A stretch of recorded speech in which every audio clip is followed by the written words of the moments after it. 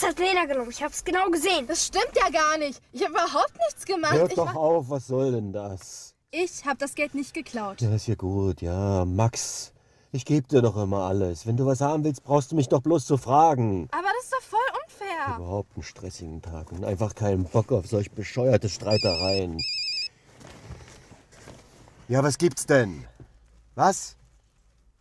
Die haben immer noch nicht geliefert. Menschenskind, ihr seid doch wie kleine Kinder.